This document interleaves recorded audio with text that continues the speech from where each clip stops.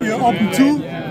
Apps uh, like this flashlight, enable disabled, and um, paradigm is like you have the home screen always on here, and you've got quick settings from the top, you've got um, uh, events and uh, um, weather right, and you've got notifications here. And this is all we got. It's just like some apps, and um, yeah, with more community and uh, hoping for support of more developers to have more apps and more uh, features. Like um, this was a map app. The map app is actually working here. Yeah.